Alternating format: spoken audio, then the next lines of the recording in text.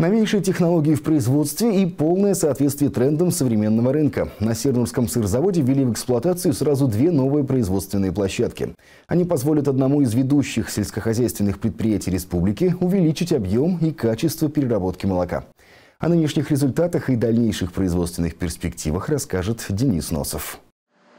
Работать при приемке и переработке молока в наши дни без использования новых технологий просто невозможно. Рынок и потребители диктуют свои конкретные условия. Поэтому системная модернизация на предприятии продолжается уже пять лет. Сейчас огромное внимание уделяется в том числе и вспомогательным направлениям развития. Два новых цеха полностью отвечают стратегии завода о росте и развитии производства. Прибавим к этому самые современные технологии, и тогда количественное увеличение получения сырья станет еще большим числом продукции, которую оценивают оценит потребитель. Цифры статистики красноречивы. Показатели производства и выручки в прошлом году выросли на 53%, а первый квартал этого года только подтвердил эти показатели. Поэтому новые 500 квадратных метров производственных площадей дадут не только количественный, а это превышение сегодняшних объемов сырья в два раза, но и во всех смыслах значимый результат.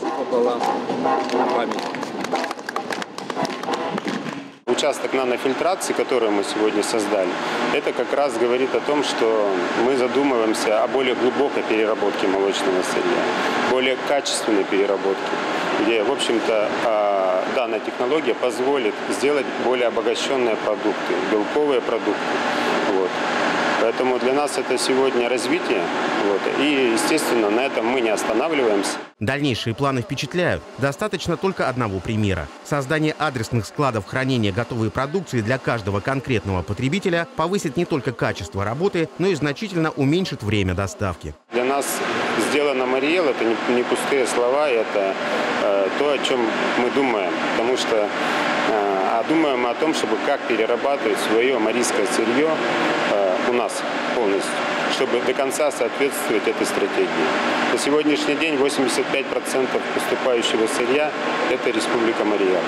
Мы благодарны всем нашим поставщикам сырья, которые поддерживают этот бренд и идут в ногу, вместе в ногу, как промышленники, производственники вместе с нами. Стратегия «Сделана в Мариэл» имеет под собой очень серьезную основу. И Сернурский сырзавод, который из года в год увеличивает производственные мощности и создает новые рабочие места, решает не только экономические, но и социальные вопросы. А традиционные отрасли развития агропромышленного комплекса республики получают дополнительный стимул к развитию. Самое важное то, что более 80% молока перерабатывается именно произведенного у нас в республике. Это очень важно, что наши производители могут делать добавленную стоимость именно от наших сельхозтоваропроизводителей, что даст э, дополнительное отчисление в налоги и возможность повысить уровень жизни наших э, граждан.